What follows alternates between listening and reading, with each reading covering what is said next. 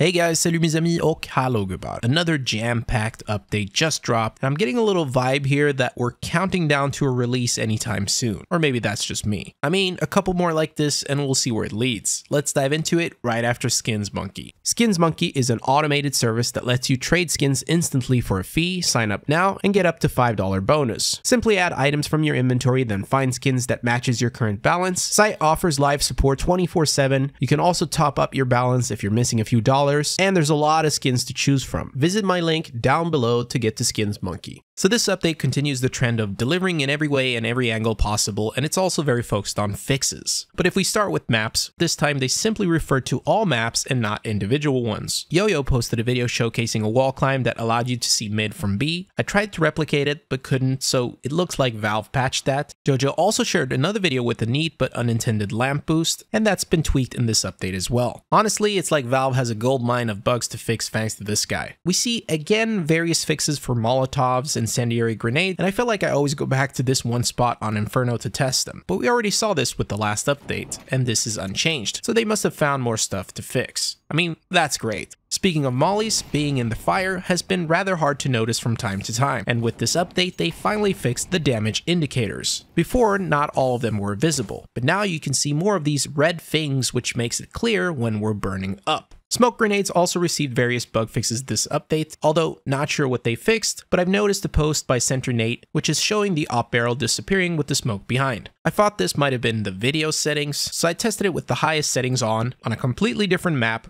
placed the bot with an AWP barrel sticking out, through the smoke behind, and as you can see, I can replicate it. I know you're watching Valve, so hopefully this is an easy fix. They've also updated sniper contrails in first person view. Now the visual smoky trail your bullet leaves will change change based on your shot's accuracy. This means that if you are accurate while shooting, the trail goes all the way, but if you're not, the trail ends up short. This will not impact the actual bullets, you can still hit your enemies, but it offers real-time visual feedback, which is a very nice upgrade. This next one is huge, as they have made various adjustments to lag compensation, which is a huge talking point right now where people are getting shot behind walls. I've never had an issue with this, but I've always had good ping, so it would be interesting to hear from you guys who have experienced issues and let us know if you feel any difference. But speaking of other network related stuff, they also removed all the interpolation commands and CL update rate because they quote unquote never had an effect in CS2. This is an interesting statement because it sounds so contradicting to when they said that they had adjusted the interpolation parameters a couple updates ago. The way I see it, there are a few possibilities to explain this. One, they initially thought the commands worked in CS2, adjusted them, then realized they didn't and removed them. Two, they tried to make the commands functional in CS2 but ultimately gave up. And three, someone then speak to someone over at Valve. But whatever the case may be, they are saying nope to adjusting them altogether. I mean, they might have just removed the commands to clean up the code, make way for new features, or prevent people from using settings that ultimately make the game worse for them. It's probably that last one. They also replaced elevation indicators on the radar with look directions now. So instead of knowing if a player is above or below you, you'll now see which way they're facing instead. I feel like the positives outweigh the negatives. Now let's get to the juicy sounds update. Gunfire, footsteps, and reload sounds are less affected by CS2's famous occlusion and distance. Stereo spread is also slightly widened, which would tackle the issue we saw by Zodom. This is before the update,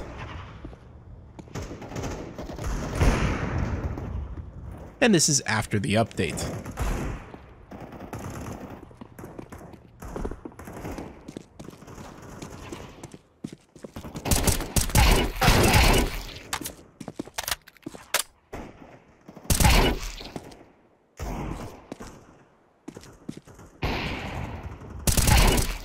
I'll let you guys decide if it's any better. And bugs related to incorrect footstep sounds and music stopping at the end of deathmatch have been fixed. Another update is how they changed the armor number in the buy menu to display the amount you can buy instead of the amount you currently have. This way you can immediately see how much additional armor you can buy. We also see in this update various fixes for weapon finishes, gloves, and stickers. They did mention gloves, so are the knocks better now? Hmm, no. Now I might be tripping, but the Marble Fade looks better now, I think. I don't remember the red glow or any glow like this at least. Some skins experts can let me know down below. Speaking of skins, you can place name tags onto your knives now, and it looks horrible, so let's just stop there. We also see some water performance improvements. This is connected to all the people talking about disabling the cheat protected command R CSGO water effects to improve performance. And hopefully this will work a lot better now for everyone. Lastly, adjusting individual player voice volumes is now possible. Various HUD bug fixes and tweaks have entered the building, and with Steam's 20th anniversary, we got some new CS2 animated avatars, so Valve made sure to push out an update to allow us to disable them in-game. Oh, and texture filtering is back in the video settings. Let me know what you guys think of this update. I'll see you guys soon. Peace.